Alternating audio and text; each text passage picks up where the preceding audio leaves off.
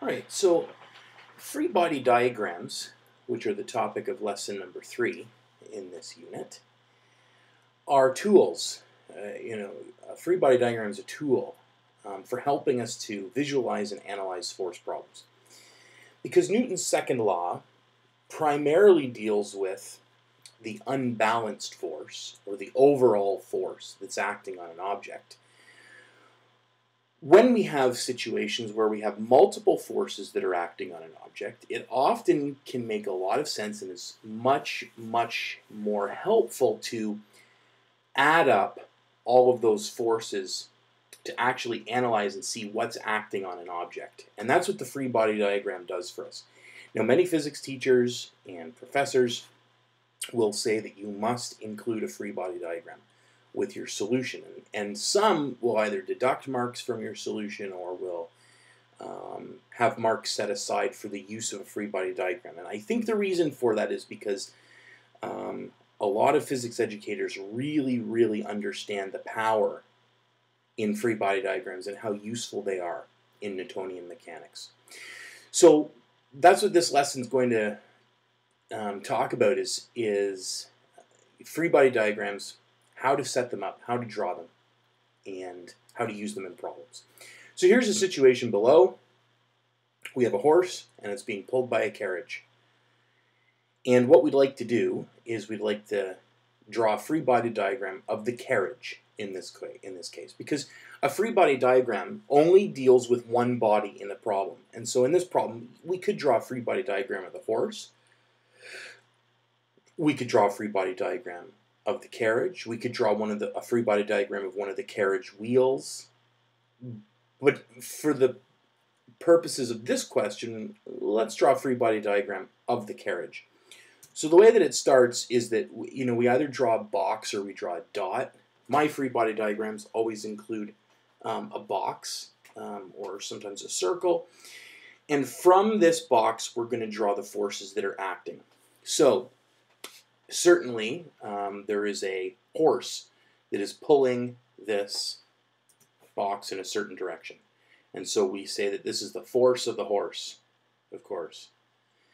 We also know that the carriage is, of course, not floating off into the atmosphere, so it's being held securely, planted to the ground by gravity. The ground, however, is also supplying a force in the upwards direction, and that would be the force um, here, F ground. And we could say, well, depending on the situation, um, we'd certainly have friction as a force that's present. Um, that could be friction maybe from the axles in the, of the wheel, or maybe friction from the ground.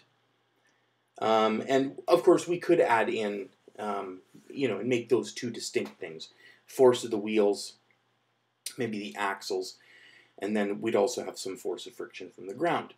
And so this would be a representative sample of what's going on in a free body diagram. Most of the time, the problems that you're going to be solving are going to explain what forces are present and which ones they want you to include in the free body diagram. But what does all this mean? Well, we know from Newton's second law that F equals ma, but that F is not just um, one of the forces, it's all of the forces. So if there's more than one force acting on an object in a free body diagram, we know that F net is equal to the sum of all forces acting on the object. Okay?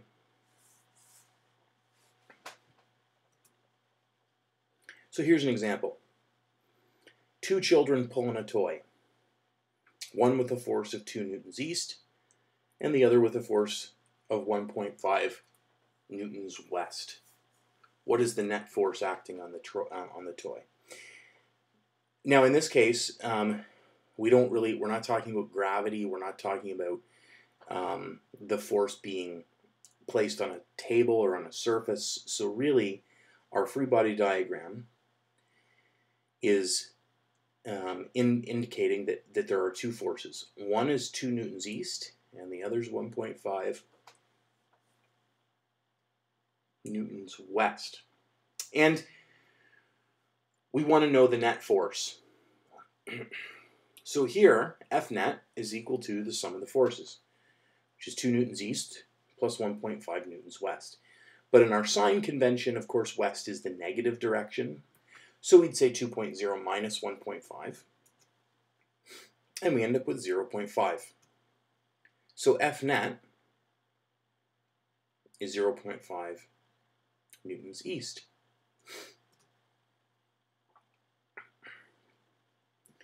Um, it should be said that in this example, um, we should note that the forces pulling in opposite directions were unequal.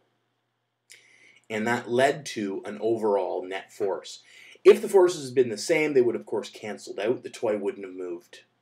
Um, and so since the forces are unbalanced, that causes the toy to accelerate. All right, so here we go. Let's find the acceleration of this toy. It has a mass of 50 grams. So here was F net. We just found that in that problem, 0.5 newtons east. We know that the mass is 50 grams. We want to use SI units, so let's convert that right away, 0.05 kilograms. And F equals ma. So if we rearrange this equation for A, and we divide 0.5 newtons east divided by 0.05 kilograms, we end up with 10 meters per second squared in the east direction. You'll notice that the mass, of course, does not change the direction. So if the force was directed east, the acceleration is also directed east. So the acceleration of this toy is 10 meters per second squared in the east direction. So here's a couple different free body diagrams. And we've got some forces in the vertical direction and some in the horizontal direction. So for the first one, let's look at the sum of the forces in the y direction.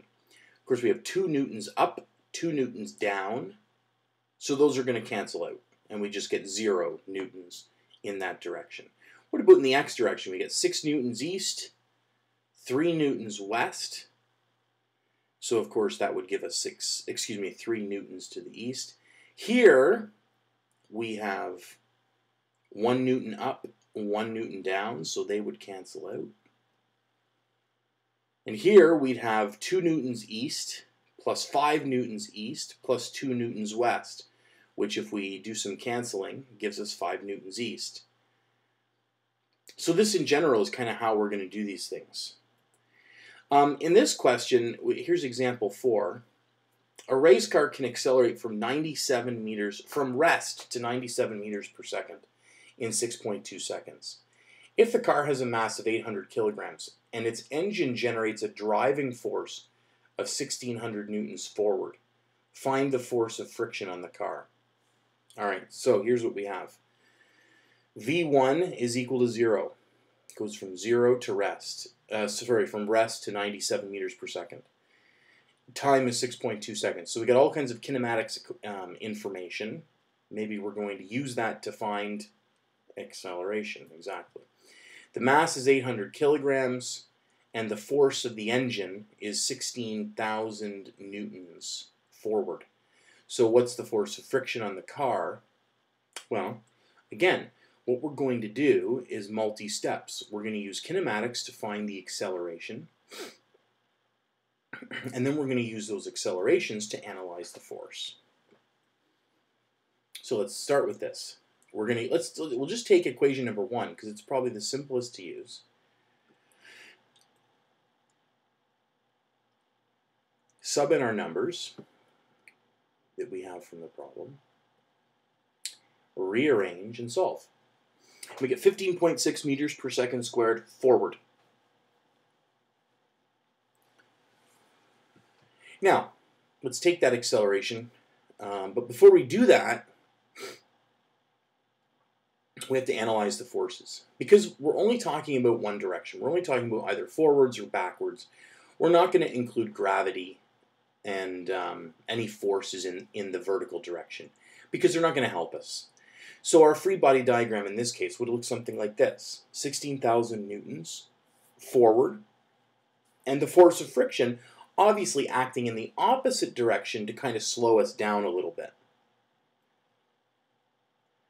We know that F net is equal to MA. So we can now write F net explicitly as 16,000 in one direction minus the force of friction because it's in the other direction. And that's equal to 800 kilograms, which is the mass of the car, times 15.6 meters per second. And what we find by simplifying is that the force of friction is equal to 10,880 newtons. Uh, it's interesting to note if you know if we had just used the force of the engine times the um, equals ma um, and used the mass of the car to find the acceleration, that would have been the acceleration but without friction. And so yeah, we could have got got an acceleration by using just F equals ma. But of course, that's incorrect because that wouldn't have allowed us to find the force of friction that was acting on the car.